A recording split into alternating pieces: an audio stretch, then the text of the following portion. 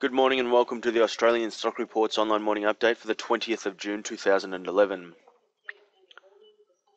Global markets bounced on Friday night amid discussion between France and Germany regarding the Greek debt situation.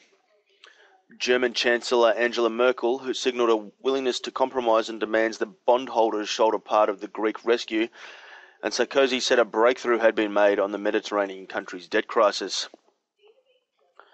Turning to the local action, the SPI futures are currently pointing to a modest three point gain on the open this morning.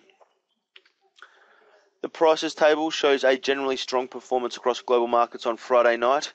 In the US, the Dow and S&P gained ground, whilst the tech-heavy Nasdaq slipped a little. In Europe, the FTSE added 0.3 of a percent. Amongst the commodities, gold was slightly stronger, while oil continued its downward trajectory, shedding another 2%. The US dollar weakened against the euro after European leaders pledged to back the currency. The US dollar also weakened against the Aussie dollar. Looking at the SPI action on Friday night, the index topped out around 45.10 before trickling lower into a low of 44.75. Get free access to our daily reports and recommendations now. Visit australianstockreport.com.au forward slash try.